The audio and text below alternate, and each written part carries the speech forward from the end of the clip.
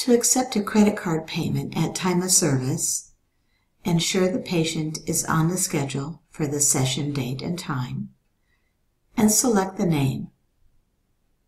Select Accept Payment, and enter the payment amount for today's session. Choose the payment type as credit.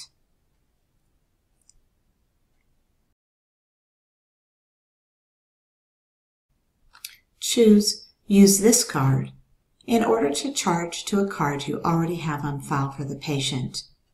You will be able to confirm the last four digits of the card number, the date the card was entered, and the expiration date of the card prior to processing the charge.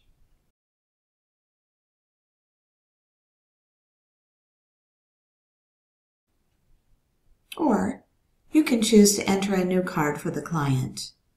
Note the default is to keep this card on file for the client so that it can be used at a later date.